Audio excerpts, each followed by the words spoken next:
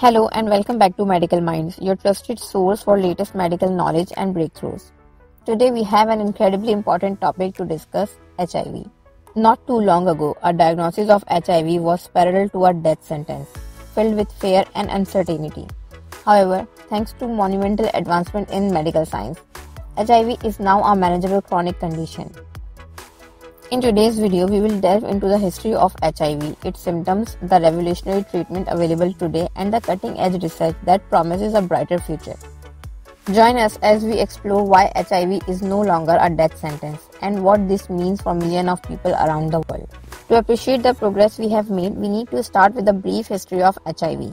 The virus was first identified in the early 1980s and quickly became a global health crisis. HIV or human immunodeficiency virus attacks the immune system, specifically targeting CD4 cells, which are crucial for immune defense. Without treatment, HIV progresses to AIDS, acquired immunodeficiency syndrome, a condition where the immune system is severely weakened, making the body vulnerable to opportunistic infection and certain cancers. Understanding the symptoms of HIV is essential for early detection and treatment. The initial stage of HIV infection, known as acute HIV infection, can present with flu like symptoms within 2 to 4 weeks after exposure.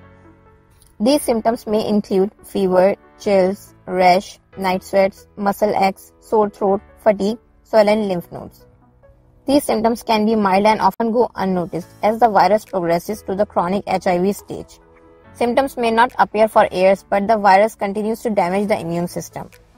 During this stage, people may experience persistent swelling lymph nodes, weight loss, fatigue, recurring fever, diarrhea, opportunistic infection. It is crucial to get tested if you think you have been exposed to HIV, as early detection allows for timely treatment, which significantly improves outcome. The turning point in the fight against HIV came in 1996 with the introduction of highly active antiretroviral therapy, HAART. This combination of drugs transformed HIV from a fatal disease to a manageable condition. Patients who adhered to their medication regimen saw dramatic improvements in their health and longevity.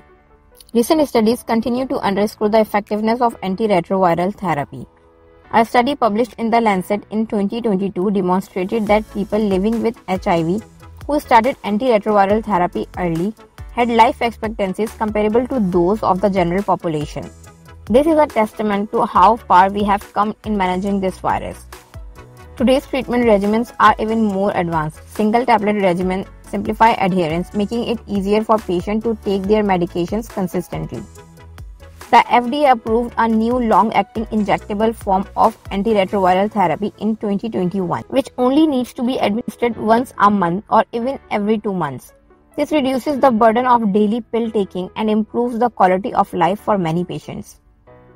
Prevention has also seen significant strides. Pre-exposure prophylaxis is a medication that people at high risk of HIV can take to prevent infection. Studies have shown that pre-exposure prophylaxis reduces the risk of contracting HIV by up to 99% when taking as prescribed. The Undetectable Untransmittable campaign has further revolutionized our understanding of HIV. People living with HIV who achieved and maintained an undetectable viral load through antiretroviral therapy cannot sexually transmit the virus to others. This has profound implication for reducing stigma and improving the lives of those living with HIV. Living with HIV today is vastly different from what it was a few decades ago. People with HIV can pursue careers, have families, and live fulfilling lives. The stigma, while still present, is slowly diminishing as public awareness and education improve. The research into HIV continues to push boundaries. One exciting area is the search for a cure. While a definitive cure remains elusive, there have been promising developments. A study published in Nature in 2023 reported on a patient who achieved long term remission of HIV after a stem cell transplant.